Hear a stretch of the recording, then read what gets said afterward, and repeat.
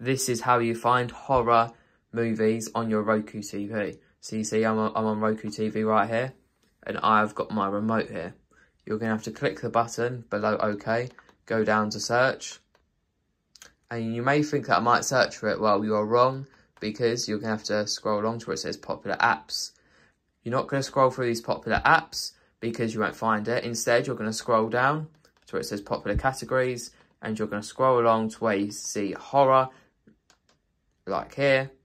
And as you can see, there'll be loads of different kinds of horror movies here for you to watch. If you found this video helpful, make sure to like this video and subscribe to my channel.